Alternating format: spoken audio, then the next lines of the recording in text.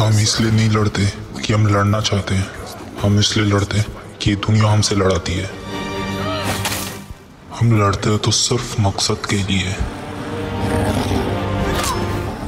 ऐसी किस्मत जो हमसे अज्ञात है। वादे जिन्हें पूरे करने हों।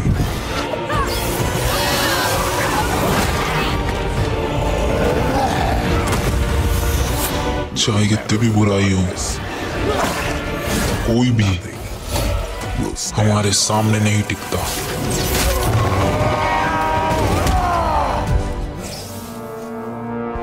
फिर से